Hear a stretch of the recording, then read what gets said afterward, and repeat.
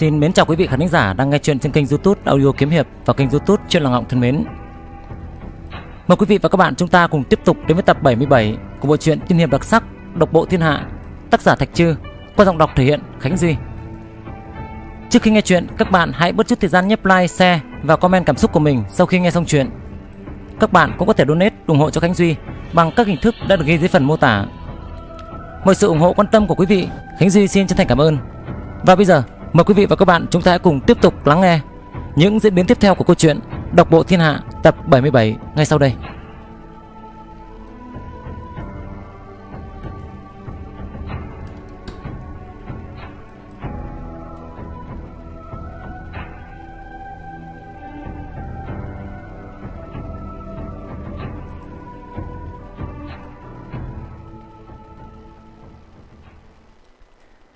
Tiếp theo phần trước lại nói lúc bây giờ, Diệp Phúc dùng mình.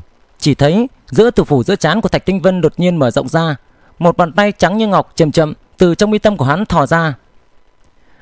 Bàn tay kia vừa thò ra, Diệp Phúc bị chấn cho loạn choạng, Bay ngược về phía sau. Đây là một thức vu pháp không trọn vẹn của tinh đế. Để ở trong tử phủ Để bảo vệ cho con trai mình. Đây chỉ là một thức không trọn vẹn, Còn chưa phải tinh đế từ mình ra tay, Mà là mượn dùng tử phủ của Thạch Tinh Vân để thi triển đã khiến cho hắn hoàn toàn không thể chống lại. Một thức vô pháp không trọn vẹn này của tinh đế triển khai ra, đường đường chính chính, rầm rộ, thậm chí có thể dễ dàng đánh chết nguyên thần của đại vô tam thần cảnh. Đây mới là thực lực chân chính, không cần dựa vào bất cứ thứ vô bảo gì. Mặc kệ ngươi có ngàn loạn loại thần thông, và loại vô bảo một trưởng của ta đánh xuống, tất cả đều sụp đổ tan tành. Diệp Phúc cuối cùng cũng cảm thấy được sự khủng bố của tử vong. Bàn tay tinh đế khiến cho hắn muốn tránh cũng không tránh được. Tu vi của hắn, vu bảo của hắn ở trước bàn tay này đều không có bất cứ tác dụng gì cả. Bàn tay này không chỉ phá hủy tu vi, vu bảo của hắn, không chỉ muốn phá hỏng thân thể của hắn, mà còn đang phá hủy niềm tin tất thắng của hắn, làm cho lòng tin của hắn hoàn toàn bị phá hủy. Tinh đế, Chu Thiên Tinh Cung ra tay, tuy chỉ là một cái vảy vuốt, nhưng lại đem khí phách của một vị bá chủ ma đạo hiển lộ ra không thể nghi ngờ. Ta sẽ không chết ở chỗ này, sẽ không chết ở trong tay tinh đế. Kiều đại nguyên thần, gì là thiên địa tháp, cột buồm cánh buồm, đệ nhất thần sát, tất cả dung nhập thân ta. Diệp Phúc nổi giận gầm lên một tiếng, kiều đại nguyên thần hiện ra ở phía sau hắn, ngọc thụ, rồi diên la thiên địa tháp, cột buồm, cánh buồm cùng đệ nhất thần sát đột nhiên bay lên, dung nhập vào trong cơ thể của hắn, ra sức chống cự áp lực còn chưa hoàn toàn đến. Pang pang pang. Quanh thân của hắn trào ra từng đám xương máu, bốc lên xung quanh thân thể, giống như nước sôi, áp lực cực lớn đang tàn phá thân thể của hắn, dù có thêm các loại vu bảo và cửu đại nguyên thần gia trì cũng không thể ngăn được. Tình đế, ngươi không thể diệt đi lòng tin của ta được. Vạn kiếp vô lượng. Nguyên công vận chuyển, kim đan bất diệt thân. Diệp Phúc đồng thời vận chuyển hai loại tâm pháp này, cưỡng ép thúc dục thân thể, chỉ thấy toàn thân của hắn kim quang sáng chói, mặt mang Phật quang giống như một tiểu kim Phật vậy. Nhưng mà, dù loại tâm pháp này được xưng là khiến cho thân thể mạnh nhất, cũng không thể chống lại được bàn tay tinh đế. Bàn tay này chưa chạm đến thân thể của hắn, còn cách hắn khoảng trăm bước mà kim thân của Diệp Phúc đã vỡ tan, kim huyết trào ra khắp thân. Bàn tay tinh đế áp đến, kim thân bất diệt đan của hắn đối mặt với áp lực quá nặng, gần như không thể chống chọi được. Đây hẳn là kết cục phải chết. Tinh đế giấu một thức vu pháp không trọn vẹn trong tử phủ con út Thạch Tinh Vân là để ngăn cản một lần sát kiếp cho hắn ta. Bàn tay này một khi đã ra thì sẽ không chịu bỏ qua cho đến khi giết được đối thủ mới thôi. Bàn tay tinh đế sắp một trường để chết Diệp Húc thì đột nhiên một thanh âm minh mang phiêu đã chuyển đến. Ma Vương Ba Tuần đã nói với Phật như thế này: Mạt pháp thì Ngô Tử Ngô Tôn vi tăng, phi nhĩ đích ca sa, phôi nhĩ đích Phật pháp, hiếu tăng chi danh, hành ma chi đạo. Thanh âm này giống như đang niệm tụng lời mở đầu của một cuốn kinh văn, thanh âm rõ ràng giống như một tên đại ma vương đi ra từ trong kiểu u hoàng tuyền, thân khoác áo cả sa Phật đà, một thân Phật quang, bên người hồng liên nghiệp hỏa vô cùng vô tận đang hừng hực thiêu đốt. Vị ma vương này mặt mang theo nụ cười giả dối, ở bên tai mọi người kể ra giáo lý của mình, khuyên người hướng tới cái ác. Những thanh âm này từng chữ như chùy, mỗi một chữ tuôn ra tựa như cái chùy vô hình nện thật mạnh lên bàn tay của tinh đế. Bàn tay tinh đế lập tức lui ra sau trăm thước. Những lời này có tổng cộng 36 chữ, giống như 36 cái chùy liên tục đánh lên bàn tay của tinh đế. 36 chữ, 30 lần trọng kích, đánh lui bàn tay tinh đế này phải liên tục lui ra 3.600 bước hoàn toàn lui đến mi tâm Thạch Tinh Vân, bị bức phải lui trở lại trong tử phủ của Thạch Tinh Vân. Toàn thân Diệp Phúc bị máu loãng và mồ hôi làm cho ướt nhẹp, trong lòng khiếp sợ vạn phần. Nơi giọng nói đó phát ra đúng là phương hướng Thập Vạn Đại Sơn. Nơi đó không phải là Hoàng Tuyển Ma Tông hay sao? Giọng nói này hẳn là phát ra từ Hoàng Tuyển Ma Tông, truyền đến nơi này, đánh lui bàn tay của Tinh Đế. Hoàng Tuyền Ma Tông cách hải ngoại tiên các đâu chỉ mấy vạn dặm, mà giọng nói này lại lướt qua khoảng cách mấy vạn dặm, uy năng vẫn cuồn cuộn phiêu đãng như cũ, giống như trường ca tuôn trào, va đập lên bàn tay tinh đế, bức lui nó. Tâm thần của hắn kích động, hắn gia nhập Hoàng tuyến Ma Tông, trở thành đệ tử Ma Tông đã gần 4 năm rồi. Thời gian dài như vậy, hắn một mình hối hả ngược xuôi, bất kể gặp phải khó khăn nguy hiểm gì đều tự mình xử lý, liên tục tìm đường sống trong chỗ chết. Nay lại là lần đầu tiên hắn được Hoàng tuyến Ma Tông che chở, đây có nghĩa là hắn cuối cùng cũng được Hoàng tuyến Ma Tông, cái đại phái ma đạo cổ xưa này thừa nhận, hoàn toàn trở thành một phần tử của Ma Tông. Đồng thời, Diệp Phúc cũng thừa nhận Hoàng Tuyền Ma Tông thừa nhận môn phái ma đạo này chính là nơi mình thuộc về. Đã xảy ra chuyện gì vậy? Xảy ra chuyện gì vậy? Mọi người ở trong tiên các ngỡ ngàng hoàn toàn không biết ngay tại vừa rồi, hai cường giả cao nhất đương thời đã âm thầm sau đó một lần. Tiểu tử thối, Ngươi hủy đi chấn long bảo ấn của ta Giết hai người hầu của ta Sớm muộn gì ta cũng tính sổ với ngươi Tự mình lột ra hủy cốt của ngươi Thạch Tinh Vân trốn vào trong phạm vi hải ngoại tiên các Vênh pháo hùng hăng Nhìn đám người trong hải ngoại tiên các một lượt Âm trầm mà nói. Nếu ai giúp ta giết tên tiểu tử thối này Ta thưởng cho kẻ đó 100 cái tứ gia linh mạch. Mấy ngàn tên vũ sĩ trong tiên các cổ lên Ở trên đại hội đấu giá Dù là loại bảo vật trong truyền thuyết như túc nhưỡng Cũng không có cái giá 100 cái tứ gia linh mạch. Món nguyên thần chi bảo chân long bảo ấn kia lại càng không cần cân nhắc đến, giá trị không bằng thức nhưỡng. 100 cái tứ gia linh mạch đủ để tuyệt đại đa số người bí quá hóa liều, giết người cướp của, thậm chí còn có thể mua được một đống đại vua tam thần cảnh ra tay với Diệp Phúc. Diệp Phúc cười lại một tiếng, xương cốt toàn thân hắn đều bị chấn nứt, da rẻ cơ bắp kinh mạch, huyết quản cũng xuất hiện những vết nứt có to có nhỏ, thân thể bị phá, nguyên thần cũng kín đầy vết rách, lọt vào trọng thương trước nay chưa từng có. Hơn nữa, sáu viên nguyên đan còn lại của hắn cũng lọt vào áp lực dữ dội, gần như bị phá vỡ, bị thương nặng.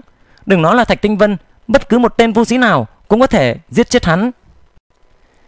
Nhưng do dư uy của hắn vẫn còn, hắn đã hành hạ đến chết nhiều tài năng trẻ tuổi như cắt cỏ, hủy diệt chấn long bảo ấn, đánh hạ hạ tùng giang, bị thương, dọa chạy hơn 13 vị cường giả tam thần cảnh, lên chạm hai gã đại vu chu thiên tinh cung. Cái loại chiến tích này đủ để người ta phải ghé mắt, làm cho người ta phải kinh hồn táng đảm không dám đối địch với hắn. Cho dù lúc này đây, thân thể của hắn bị phá, nguyên thần và tu vi đều bị thương nặng, bản thân bị trọng thương, nhưng vẫn không có ai có can đảm tiến lên xử lý hắn. Mãnh hổ dù chết, dư uy vẫn còn, huống chi con mãnh hổ Diệp Phúc này vẫn chưa chết.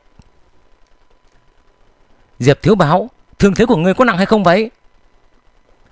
Một người trẻ tuổi bên trong hải ngoại tiên khác khẽ cười nói. Lời của hắn đã hỏi ra tiếng lòng của rất nhiều người. Ánh mắt bọn họ đều sáng ngời lên, nhìn hướng Diệp Phúc, một bộ dạng rất chi là thân thiết, dường như đều đang quan tâm thương thế của hắn vậy. Diệp Phúc khó khăn liên tục lấy một tấm lụa trắng ra che miệng lại, sau khi bỏ ra chỉ thấy trên lụa trắng có vết máu, nhìn vào cái người mỉm cười nói: ờ, "Nặng, nặng đến sắp chết rồi." Ánh mắt của người trẻ tuổi kia lập tức sáng lên, không khỏi dục dịch cười nói: "Thật chứ?" Ờ, huynh đài, người có thể thử xem." Diệp Phúc lại khụ khụ ho ra một búng máu tươi, Sinh mạng hắn tựa như một ngọn nến trong gió, bất cứ lúc nào cũng có thể tắt. Bàn tay của tinh đế tuy chưa thật sự động đến thân thể của hắn, thế nhưng áp lực truyền đến lại khiến cho hắn bị thương nghiêm trọng, vượt qua người khác tưởng tượng.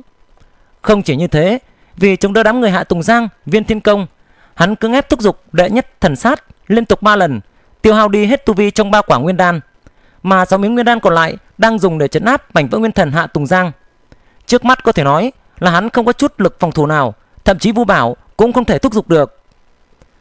Thân hình của hắn đứng giữa không trung, lung lay sắp đổ, dường như bất cứ lúc nào cũng có khả năng rơi xuống biển.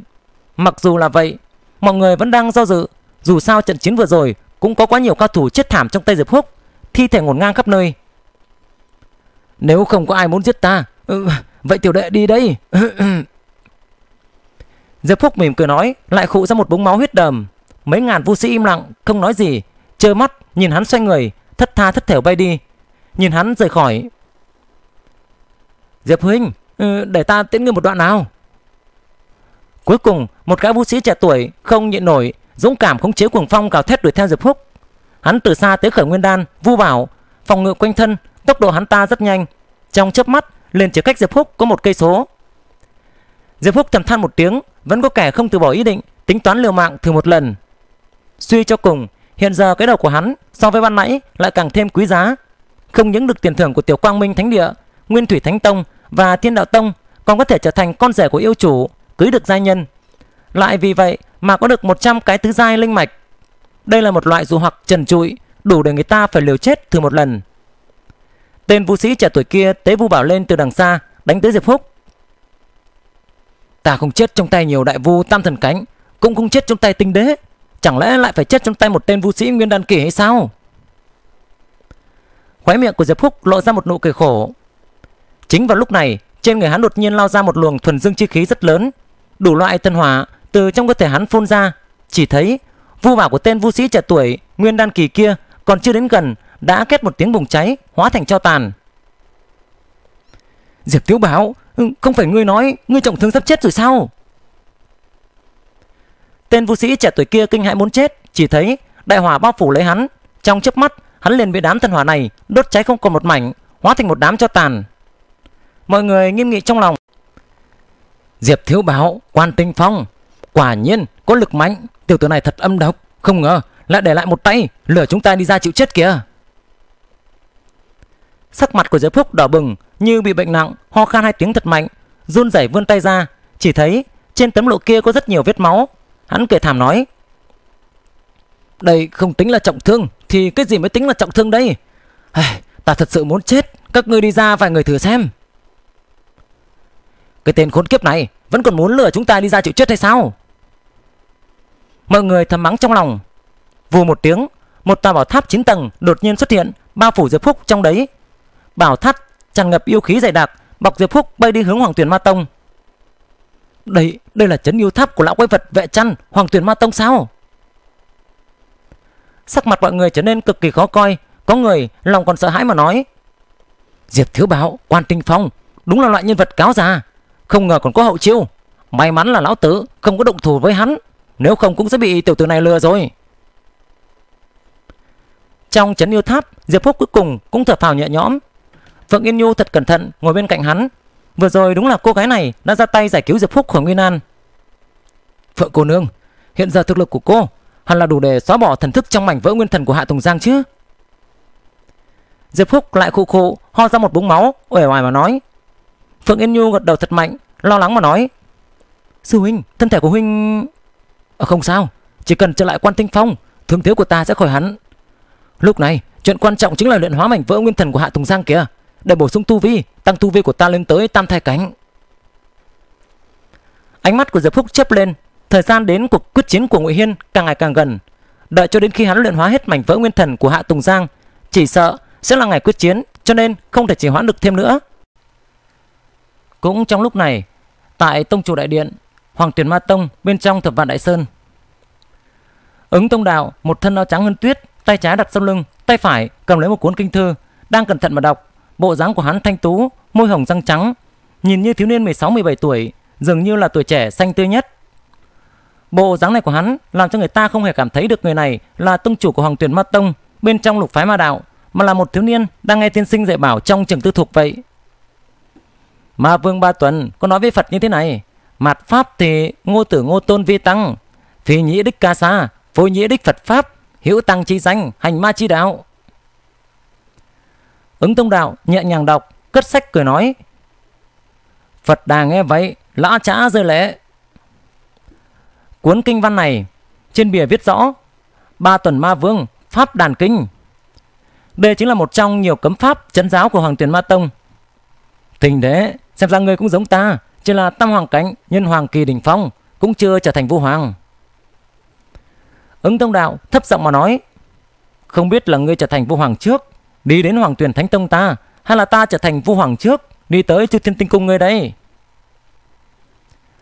Vừa rồi lúc Diệp Phúc bị vây trong Nguyên An Đúng là hắn đã ra tay Niệm tụng ba tuần ma vương pháp đàn kinh Lấy lời tựa của ma đạo kinh văn Đem từng câu từng chữ hóa thành vu pháp Đánh lui bàn tay của tinh đế qua một tháng nữa Chính là ngày quyết chiến của Diệp Sư Đệ Và ngụy Sư Đệ rồi Hắn lắc đầu thở dài cười khổ hey, ngụy Sư Đệ Người trêu chọc ai không trêu lại cố tình trêu chọc vào cậu ta, làm hại thân thể bị chém. Diệp sư đệ, một tháng thì thành tựu của ngươi sẽ tăng lên được bao nhiêu đấy? Tại Linh Phủ Phong, Ngụy Hiên tăng cường bế quan, tế luyện món Nguyên Thần Chi Bảo mượn từ Linh Khuyết Phong kia.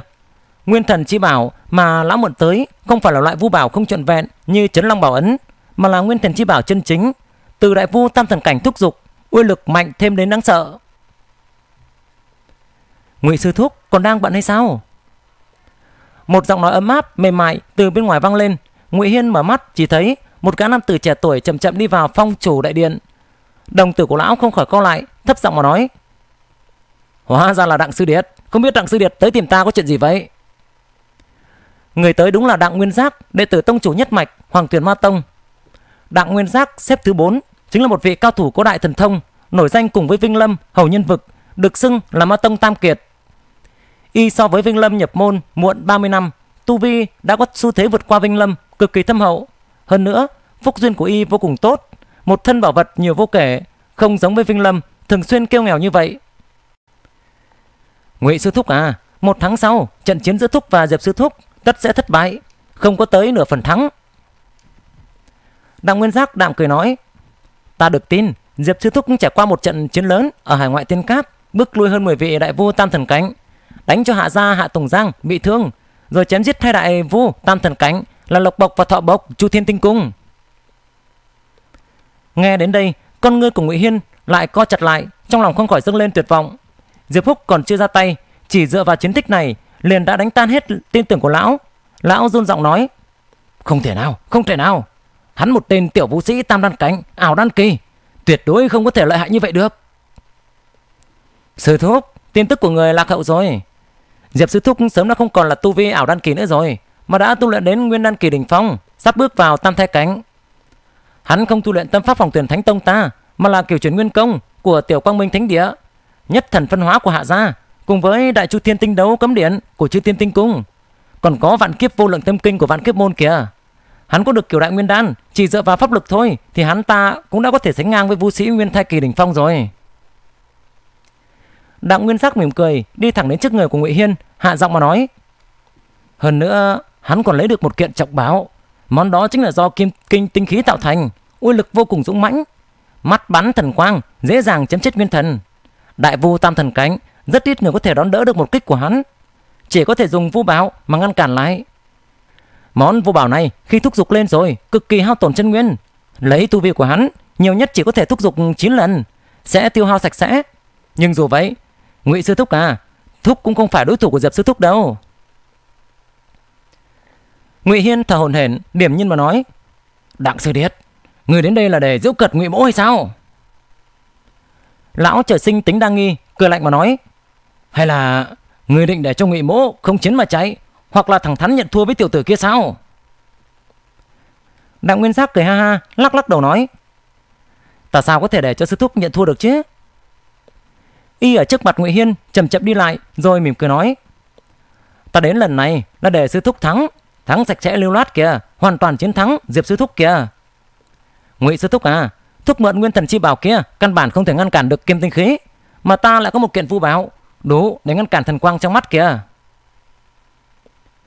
Khẩu khí của y thật lớn, trên mặt mang ý cười nhàn nhạt, nhạt, thấp giọng nói: "Ứng cử viên cạnh tranh vị trí tông chủ tiếp theo có ta và Vinh Lâm, hầu sư đệ." Ta không muốn có thêm một người nào nữa. Y lấy ra một tấm thuẫn gỗ tinh xảo Khẽ cười mà nói. Tấm thuẫn này tên là kiến mộc long trương Là ta lấy được từ di trí thương hoàng của mộ. Chính là một trọng bảo mà vị vu hoàng thượng cố Thương hoàng luyện chế ra. Sử dụng tài liệu tên là kiến mộc Chính là tài liệu hệ mộc mạnh nhất trong thiên địa này Không kém phủ tăng mộc Nổi danh cùng với kim tinh khí phủ tăng mộc, tức nhưỡng Rồi thái dương chân kim Có thêm tấm thuẫn này thúc đủ để ngăn cản kim tinh khí của hắn ta rồi. Ngụy Hiên nhìn tấm kiến mộc long chương này, chỉ thấy tấm thuẫn này cực kỳ nặng, trên mặt có khắc long văn, có vẻ cực kỳ cổ xưa. Lại nói, di chỉ thương hoàng của mộ chính là một di tích thượng cổ nguy hiểm nhất hiện nay, nơi đó chính là hoàng thành của đại thương hoàng triều thời thượng cổ. Sau khi đại hạ hoàng triều sụp đổ, hoàng đế khai quốc của đại thương tên là Thương Thang, cũng là một vị vua hoàng tập hợp lực lượng vũ sĩ thiên hạ lật đổ đại hạ trở thành chủ nhân mới của vua hoang thế giới. Đại thương hưng thịnh một thời, Sau lại bởi vì thương hoàng mơ tưởng thiên đế vị, định tập hợp tất cả tài liệu vu bảo trong thiên hạ, kiến tạo ra một món vu bảo trước nay chưa từng có, nối thẳng đến chư thiên, định đem đại quân vu sĩ cùng tất cả đại vu của đại thương chuyển hết đến thương giới. Thương hoàng không chỉ muốn thành kẻ đứng đầu vu hoang thế giới mà còn muốn đứng đầu thiên giới, hành động này đã chọc giận đến thiên. Lúc ấy, ở hoàng thành đại thương đã xảy ra một trận ác chiến, hoàng triều này hoàn toàn bị phá hủy, thậm chí cả cấm bảo trấn quốc thông thiên tháp mà thang hoàng luyện chế ra cũng bị đánh nát, chôn vùi hoàng triều thượng cổ này, hóa thành một di chỉ kinh đô đời thương. Bên trong di chỉ bảo vật nhiều vô kể, tuy nhiên lại có rất ít người có gan đi vào trong đó tầm bảo, bởi vì đây là di chỉ mai táng hoàng triều của một vị vua hoàng. Đại địa lún xuống, trời cao sụp đổ, cấm bảo thậm chí vỡ nát ở nơi đó, biến thành một nơi hung hiểm nhất thế gian này. Kiến Mộc Long Trương, Kiến Mộc Long Trương. À, à, à, à, à, à. Ngụy Hiên thấp giọng cười không ngừng, tiếng cười càng lúc càng lớn. Kiến Mộc Long Trương, loại gỗ trong truyền thuyết thương hoàng lấy để xây nền móng, kiến tạo nên thông thiên tháp sao? Cái này nối liền với thiên giới. Kiến mộc là loại mộc khí thuần túy nhất, còn mạnh hơn cả phù tăng. Một trăm diệp thiếu báo cũng không phải là đối thủ của ta nữa rồi. À, à, à, à. Diệp thiếu báo, một tháng sau, ta sẽ khiến cho ngươi chết vô cùng thê thảm, chết cực kỳ khó coi. Niềm tin của lão trở nên vô cùng hùng mạnh, ý chí chiến đấu vô tận, nhìn về phía Đặng Nguyên Giác, mỉm cười mà nói: "Đặng sư điệt, ngươi cho ta một bảo vật này, nói vậy chắc là có điều kiện chứ?" "À, ta chỉ muốn lấy một thứ trên người Diệp sư thúc thôi." Đặng Nguyên Giác nhẹ nhạt, nhạt cười nói: "Đoàn kim tinh kiếm khí kia, Ngụy sư thúc giết hắn rồi, giao kim tinh khí kia cho ta là được rồi." "Được." Ngụy Hiên hung tợn nói: "Một tháng sau, Chẳng những kim tinh khí là của ngươi, tất cả những bảo vật khác trên người của Diệp Thiếu Bảo đều là của ngươi cả. Đặng Nguyên Sắc khẽ lắc đầu, đi thẳng ra khỏi đại điện, hắn cười nói: "Nói thật, những vật khác trên người của Diệp sư thúc ta không coi trọng, những bảo vật khác, Ngụy sư thúc cứ thu vào trong túi mình đi."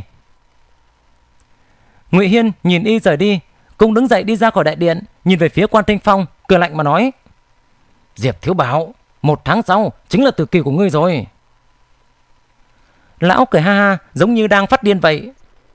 Mà bên trong tinh chủ đại điện trên quan tinh phong, Diệp Húc ngồi phía trên bộ đoàn, giáng xuống biển rộng phong ấn bên trong tinh chủ đại điện, chỉ thấy một tòa liên hoa bảo sơn đứng sừng sững trong biển cả. Đó là thân thể của vệ chăn, sau khi chết hóa thành một đóa yêu liên thật là tươi đẹp. Trên đỉnh đầu của hắn, một cái nguyên thần côn minh dài đến hơn 10 dặm đang treo lơ lửng. Hắn nhắm mắt ngưng thần, cố gắng luyện hóa mảnh vỡ nguyên thần của Hạ Tùng Giang. Cái nguyên thần côn minh này đã bị Phượng Yên Nhu gạt bỏ thần trí và thần hồn, biến thành một vật chết, chỉ còn lại tu vi vô cùng hùng hậu. Vô số dòng khí thuần trắng ở trong thân con côn minh kia đan thành võng, giống như một đám giao long không ngừng nhập vào trong cơ thể của Diệp Phúc. Một trận chiến ở hải ngoại tiên các khiến cho hắn tiêu hao quá lớn, tổn hao tu vi ba quả nguyên đan hết sạch. Lúc này còn đang gian khổ luyện hóa côn minh, bổ sung cho tu vi. Đệ nhất thần sát tiêu hao quá lớn, nếu như không cần thiết thì tốt nhất là không nên dùng. Hắn thầm nghĩ như vậy trong lòng. Bên trong cơ thể con côn minh này chất chứa tu vi của Hạ Tùng Giang, thâm hậu đến khó có thể tưởng tượng được, khiến cho tu vi của hắn khôi phục nhanh chóng. Hơn nữa, tu vi lại đang không ngừng tăng lên, càng ngày càng đến gần tam thai cảnh. Bên ngoài tinh chủ đại điện, Phượng Yên Nhu cùng Cung Ngọc Nương, đám người Hoàng Sán, Giao đạo nhân đứng ở ngoài, lo lắng nhìn đại điện đi tới đi lui. Cung Ngọc Nương đã từ hàng của ma vực trở về. Chuyến này hiển nhiên nàng thu hoạch khá phong phú, tu vi tiến bộ thần tốc, thậm chí luyện thành thiên cổ bảo tràng, đem lục sĩ kim tàm luyện thành một đám yêu vật nguyên đan kỳ. Sư tôn quá vội rồi, nếu chờ 10 năm rồi hãng giao thủ với Ngụy lão ma, thì người lão ma chắc chắn không phải đối thủ của người. Cung Ngọc Nương lắc đầu cười khổ. Giao đạo nhân thở dài nói: "Ai, ta nghe nói Đặng Nguyên Giác đi Linh Phủ Phong một chuyến, kẻ này là nhân vật số 1 số 2 của tông chủ nhất mạch, bảo vật trên người thì nhiều không đếm xuể. Nếu cho Ngụy Hiên mượn vài món, chỉ sợ tình cảnh của Diệp lão đệ có chút khó khăn rồi. Ai... Sắc mặt của Hoàng Sán trầm ổn, thấp giọng nói: "Ngọc Nương, ngươi cùng Vinh Lâm, Vinh sư huynh có sao tình, không bằng ngươi đi xem xem thay sư tôn mượn vài món vu bảo hộ mệnh đi." Cung Ngọc Nương chần chừ một lúc, cắn răng mà nói: "Lão nương bằng bất cứ giá nào hạ mặt mũi đi cầu tên oan gia kia sao?" "Được, ta đi ngay." Cô ta lập tức phóng người chuẩn bị đi thẳng đến tổng đàn đi tìm Vinh Lâm. Phượng Yên Nhu vẫn rất tin tưởng vào Diệp Phúc, dịu dàng mà nói: "Kỳ thật các ngươi không cần phải lo lắng như vậy đâu, Sư huynh rất lợi hại Tất cả người xấu đều không phải đối thủ của sư huynh mà Giao đạo nhân hơi lo lắng, Xoay người liền đi, trầm giọng nói. Ta cùng với một số lão yêu quái trong thập văn đại sơn Có giao tình với nhau, Cũng đi mượn vài món bảo vật vậy. Ai... Qua hồi lâu, Cung Ngọc Nương và Vinh Lâm dắt tay nhau đi vào quan tinh phong. Vinh Lâm trầm giọng nói. Sao? Diệp sư thúc còn đang bế quan sao? Một tháng này, tu vi có thể tăng lên được bao nhiêu đây?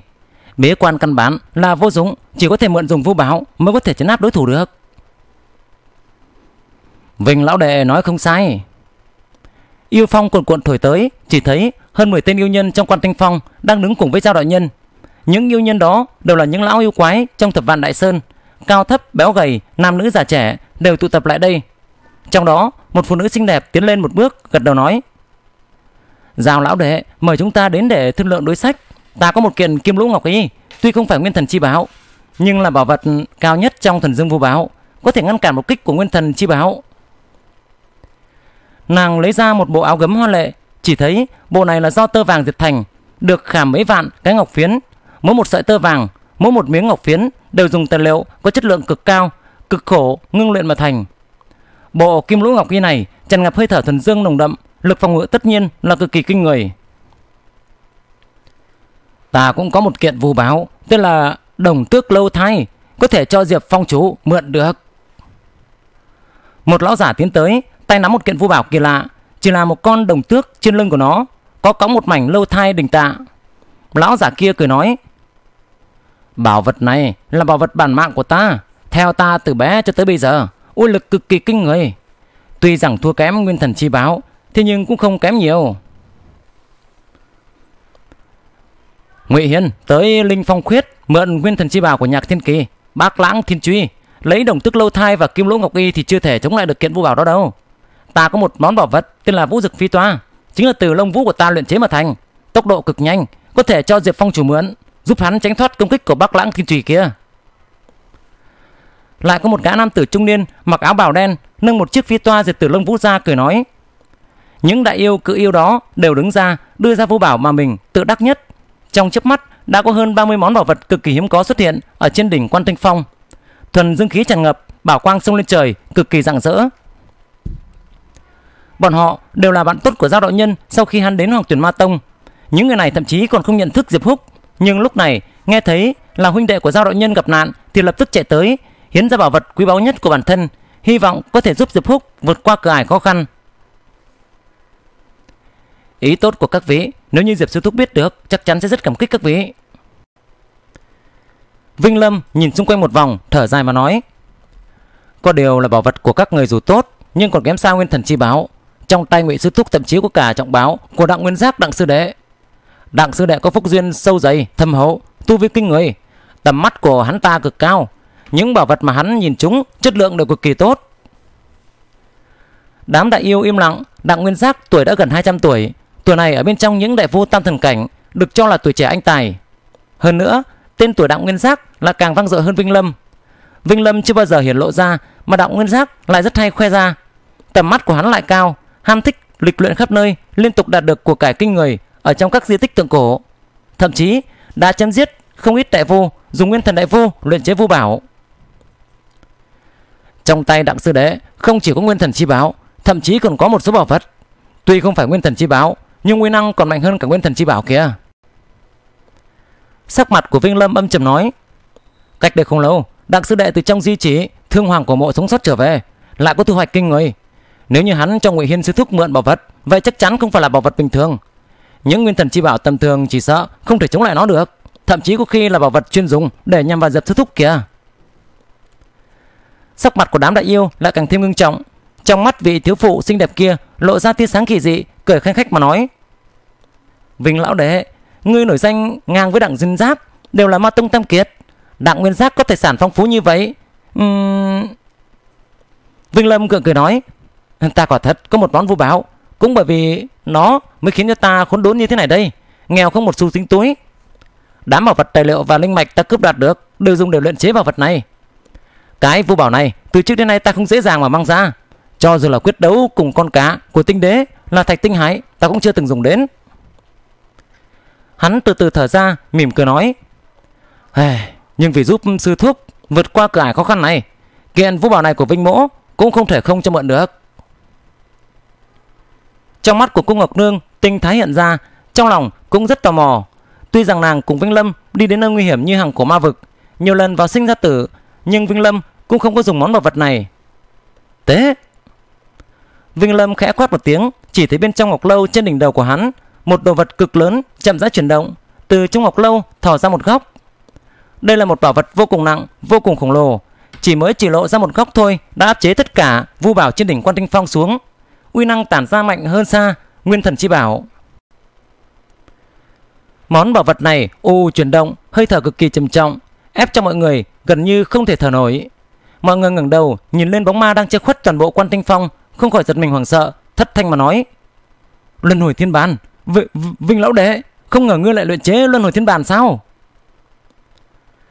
Cái vu bảo lớn đến mức không gì sánh được này còn chưa được thúc giục đã to lớn đến gần hơn 10 dặm, lơ lửng giữa không trung, giống như một cái chậu đồng cực lớn, giống hệt cấm bảo của Hoàng Tuyển Ma Tông, Luân Hồi Thiên Bàn. Ngoại trừ việc nhỏ hơn thì gần như không có gì khác biệt. Mọi người nhìn Vinh Lâm trong mắt tràn đầy khiếp sợ. Thiếu phụ xinh đẹp kia lẩm bẩm nói: "Khó trách Vinh lão đệ lại đứng đầu tam kiệt, kiện Luân Hồi Thiên Bàn này vừa ra, liền hơn không biết bao nhiêu món vu bảo rồi." Khó trách hắn lại nghèo như vậy Chỉ e là tài sản tích góp bấy lâu nay Hắn đều dùng để luyện chế món bảo vật này rồi Vinh Lâm thản nhiên nói Ta nhận được sự quan trọng của ân sư Được truyền thụ chư thiên luân hồi cấm điện. Trong đó có phương pháp chế tạo Loại cấm bảo luân hồi thiên bàn này. Chẳng qua Vinh Mỗ ngu dốt Luyện chế 200 năm rồi Mà kiện bảo vật này chỉ là một kiện nguyên thần chi bảo không trọn vẹn. Cách cấm bảo Một khoảng cách không biết xa xôi bao nhiêu. Kiệp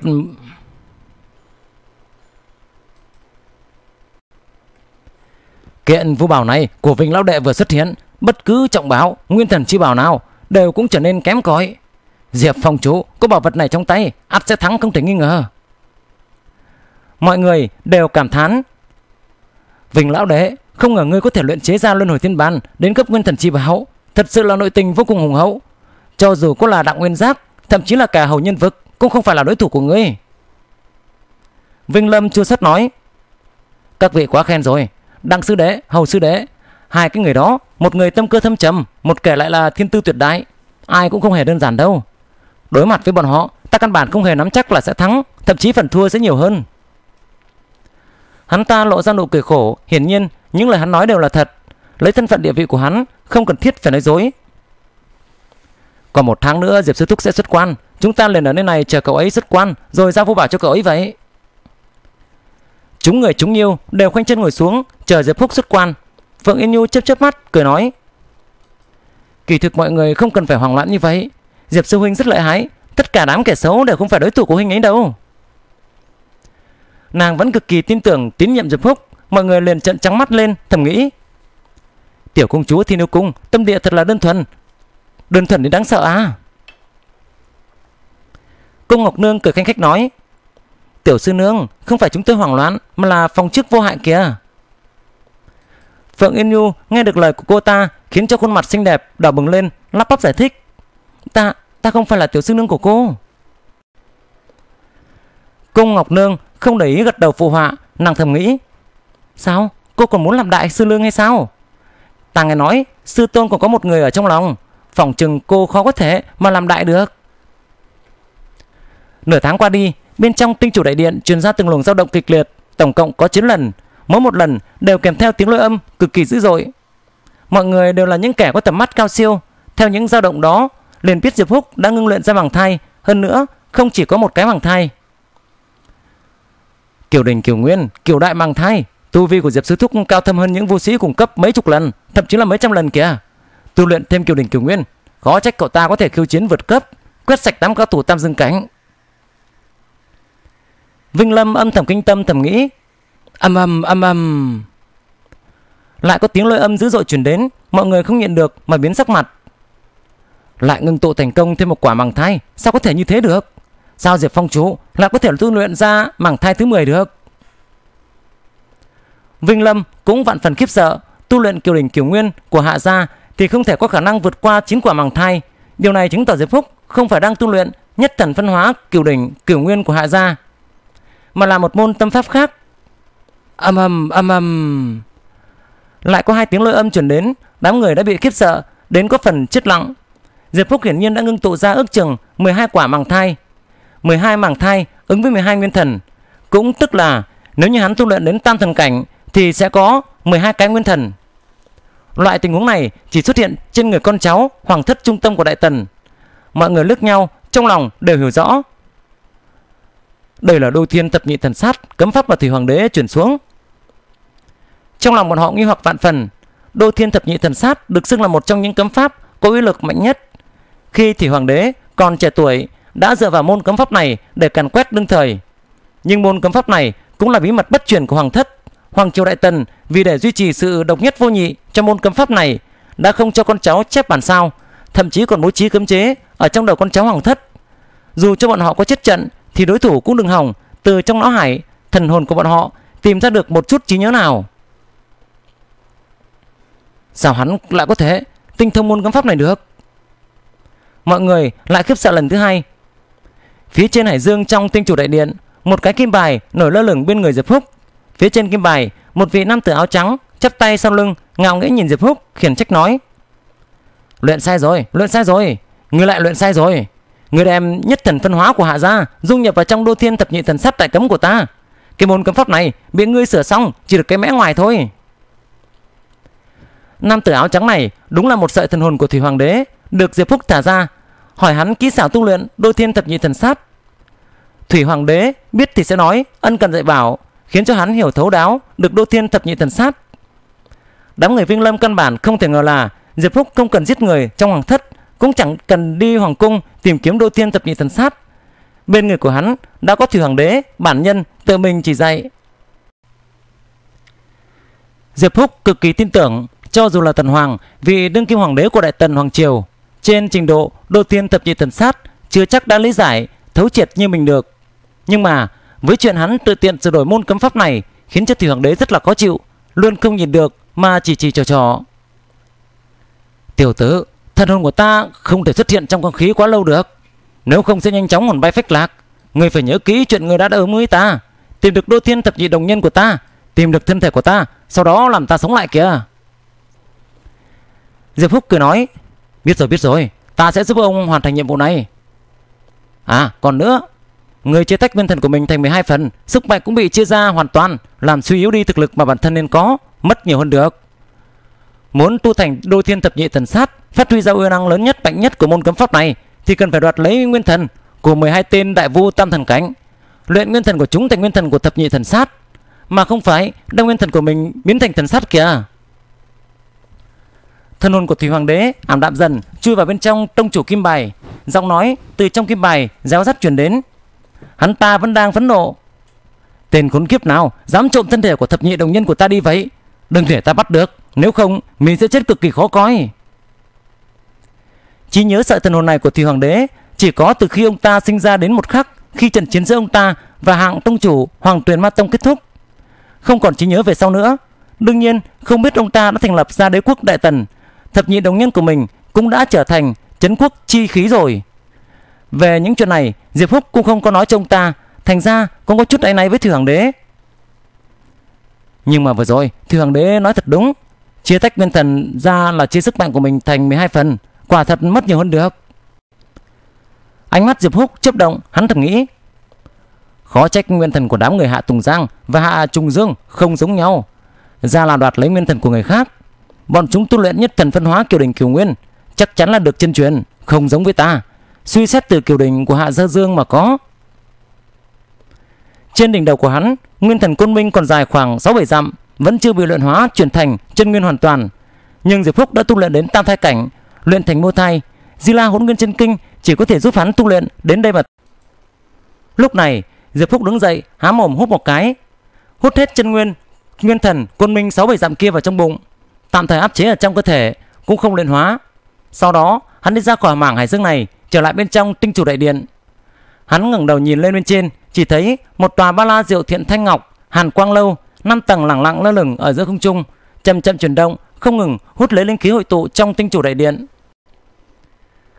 Tòa ngọc lâu này đúng là của Diệp húc đã tăng trưởng từ 4 tầng lên 5 tầng. Những linh khí mới sinh ra từ linh mạch trong quan tinh phong gần như đều đã bị Diệp Phúc dùng để nuôi toàn ngọc lâu này, mà lượng linh khí kia đủ để cung cấp cho một gã đại vua tam tương cảnh, thậm chí là tam bất diệt cảnh tu luyện hàng ngày. Linh khí sản sinh ra mỗi một hơi đều tương đương với một cái nhất gia linh mạch. Nhưng hai tháng rưỡi qua đi, toàn ngọc lâu này không biết đã cắn nuốt bao nhiêu linh khí rồi mới tăng lên thành ba la diệu thiện lâu 5 tầng. Tòa ngọc lâu này ăn nhiều đến nỗi làm cho người ta phải giận sôi. Diệp Húc đi thẳng vào trong lâu, chỉ thấy trong không gian tầng thứ nhất, Đông Lai Thành lại càng thêm thịnh vượng hơn xưa, nhân khẩu tăng thêm rất nhiều, cư dân sinh hoạt trong không gian ngọc lâu của hắn như sinh hoạt trong một thế giới không có thuế má, không có nguy hiểm, làm cho bọn họ sống vô ưu, vô lự. Hơn nữa, trong ngọc lâu tầng thứ nhất của Diệp Húc, các loại linh dược khắp nơi khiến thân thể tố chất người Đông Lai Thành nâng cao rất nhiều, người nào người nấy thân thể cường tráng. Trẻ nhỏ liền có khí lực trên dưới trăm cân, người già thì tóc trắng, biến đen, các cô gái trong thành thì xinh đẹp, da rẻ trắng nõn nà. Mà bên trong một núi bên ngoài không xa, Hùng Bi làm yêu vương như mong muốn, thống trị núi rừng. Can xảy ra và kim giác ngân giác, đồng tử thì làm yêu vương trong giao trì, hô mưa gọi gió. Bốn tên này chẳng có việc gì làm cả. Ngày thường thì trừ tu luyện, luyện đan, chính là ăn hết cả những linh đan luyện ra. Khốn kiếp, thật là một đám khốn kiếp mà. Bốn cái tên này quả thực coi trời bằng vung rồi. Diệp Phúc không dành để ý tới bọn chúng, bay thẳng lên tầng thứ hai. Hắn vừa mới lên đến nơi đây, chỉ thấy công đức kim luân sau đầu đột nhiên gào thét bay lên, rơi vào trong công đức liên hoa chỉ, biến thành trăm ngàn bông công đức kim liên đen xì, đong đưa trên mặt nước. Hừ, ta đi ra một chuyến, công đức tăng nhiều, sắp luyện thành thiên bảo kim luân rồi. Trong lòng Diệp Phúc vui vẻ, hắn tán thưởng một hồi rồi đi thẳng vào ngọc lâu tầng thứ ba. Chỉ thấy không gian tầng thứ ba vẫn là thái dương chân hỏa, vô cùng vô tận như trước, vô cùng mãnh liệt, hừng hực thiêu đốt. Bên trong biển lửa, tòa năm thiên môn kia vẫn đứng sừng sững, lù lù bất động. Vù vù. Di La Thiên Địa Tháp của hắn đột nhiên từ trong đan điền bay ra, đứng ở giữa không trung, chậm rãi chuyển động. Chỉ thấy trong biển lửa từng con hỏa long bốc lên, điên cuồng chu đến Di La Thiên Địa Tháp. Chỉ trong vài cái hô hấp, thấy xương chân hỏa trong tầng thứ ba đã bị Di La Thiên Địa Tháp hút hết sạch, lộ ra thổ địa cháy đen. Tòa bảo tháp này hấp thu nhiều thấy xương chân hỏa như vậy, uy năng càng trở nên mạnh hơn. Đột nhiên tòa bảo tháp càng lên càng cao, dung nhập hư không. Chỉ thấy không trung như biến thành ba tầng, mỗi một tầng như có một tầng thiên địa, chồng lên lẫn nhau, hình dạng như tháp. Hắn đang ở phía dưới, có thể loáng thoáng nhìn đến được không gian ngọc lâu tầng thứ tư. Chỉ có điều là cách quá xa nên không nhìn thấy rõ. Tòa Di La Thiên Địa Tháp này dung nhập hư không rồi, rốt cuộc cũng mở ra thông đạo ngọc lâu tầng thứ tư. Nếu như không dung nhập tức nhưỡng vào trong Di La Thiên Địa Tháp, cho dù ta có tu luyện đến tam thai cánh, thì cũng đừng hỏng tiến vào tầng thứ tư ngọc lâu, đạt được truyền thừa tam thai cánh. Diệp Húc không đi thẳng vào tầng thứ tư mà đi đến chỗ Nam Thiên Môn. Cánh cửa này cao tới ngàn trượng, toàn thân đỏ thẫm, có vẻ vô cùng tôn quý. Trong cánh cửa này phong ấn kho báu Tây Hoàng, vô số trọng bảo đều bị phong ấn ở trong đó. Mở! Diệp Phúc đưa hai tay đẩy cửa ra, sau một lúc gắng sức, chỉ thấy Nam Thiên Môn vẫn không động đậy chút nào. Cánh cửa này chính là bị nhiều cao thủ tam thần cảnh triệu tập hơn 10 cái hư ảnh cấm bảo mới có thể mở ra. Với sức mạnh hiện giờ của hắn thì còn xa mới có thể đẩy mở được Nam Thiên Môn. Tòa Nam Thiên Môn này ít nhất cũng cần với cấm bảo, bất diệt chi bảo. Diệp Phúc chỉ đành bỏ qua, hắn thầm nghĩ. Bất diệt chi bảo so với bất kỳ nguyên thần chi bảo nào hay tam tương chi bảo đều tốt hơn vô số lần. Tuy bây giờ ta vẫn chưa thể mở ra Nam Thiên Môn được, nhưng khiêng cái cửa này ra đập người cũng là không tệ rồi. Chỉ là lại không thể mang nó ra ngoài ánh sáng được. Hiện nay còn có không biết bao nhiêu người đang truy tìm kho báu Tây Hoàng. Nếu như Diệp Phúc khiêng cánh cửa này ra ngoài rêu rao, không chỉ là thành công làm cho đại vu tam thần cảnh đuổi giết hắn, thậm chí là mấy lão tam thần cảnh, tam bất trật cảnh cũng không nhịn nổi. Hắn tạm thời thả năm thiên môn xuống, thân hình động một cái, xông thẳng lên trời, xuyên thấu qua tầng tầng bình chướng, thẳng đến ngọc lâu tầng thứ tư. Tỉnh lại, tỉnh lại, tỉnh lại đi. Đừng ngôn. Diệp Húc lại nghe thấy tiếng giả nuôi kia, không khỏi nổi giận, mắng lên một tiếng. Giọng nói kia lập tức biến mất, hắn bước vào ngọc lâu tầng thứ tư, chỉ thấy nơi đây là một cung điện rách nát, đổ nát thiên lương thật vắng lặng. Nếu không phải Diệp Phúc biết nơi đây chính là không gian trong ngọc lâu của mình, hắn chắc chắn nghĩ rằng mình đã đi vào một trong những di tích thượng cổ. Tầng thứ tư ngọc lâu của hắn giống như một bãi chiến trường cổ, để lại dấu tích sau chiến đấu của các vũ sĩ hùng mạnh đến không biết bao nhiêu. Có một số vết tích liếc mắt nhìn qua liền biết đó là do vô Bảo to đến hơn 10 dặm nện mạnh xuống, để lại một hố to trên mặt đất. Có một số lại do Vu Pháp đánh ra, cày ra một cái rãnh trời dài đến mấy trăm dặm trên mặt đất.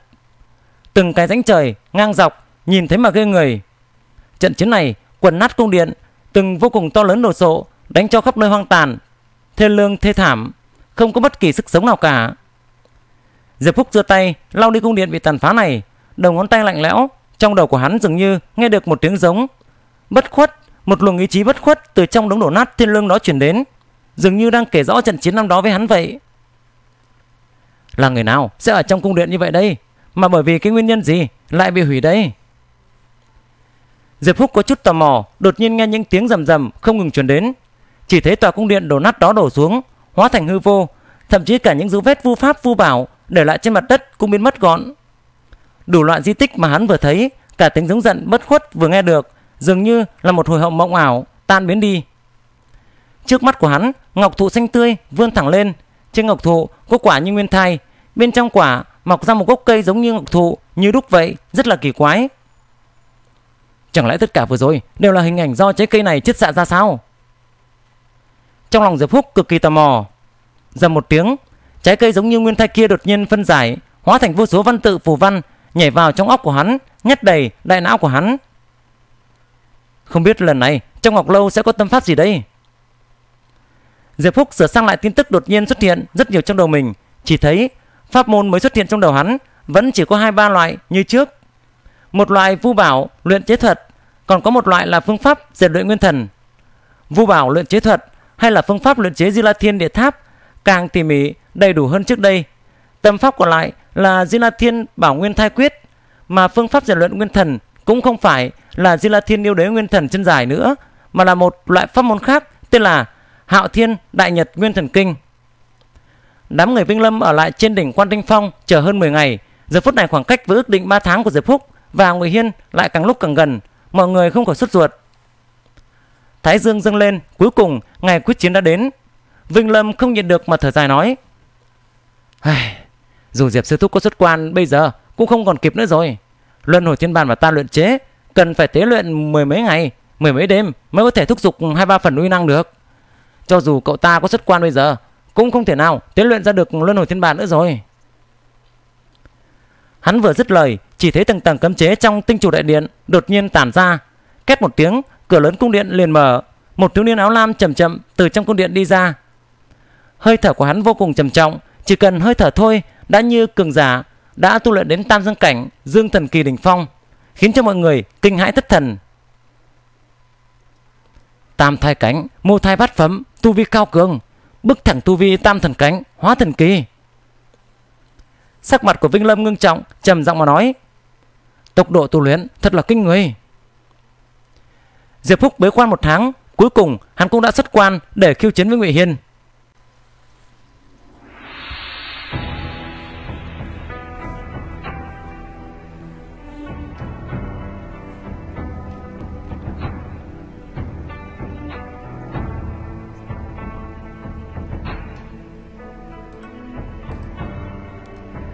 Kính thưa quý vị khán giả thân mến, tập 77 của chúng ta tạm thời kết thúc tại đây. Như vậy là trận quyết chiến giữa Diệp Phúc và Ngụy Hiên cũng đã chuẩn bị bắt đầu. Và diễn biến của câu chuyện sẽ ra sao? Trận quyết chiến giữa hai người này có những tình tiết như thế nào? Mời quý vị và các bạn chúng ta hãy cùng theo dõi trong những tập tiếp theo. Chúc quý vị nghe chuyện vui vẻ. Xin chào và hẹn gặp lại.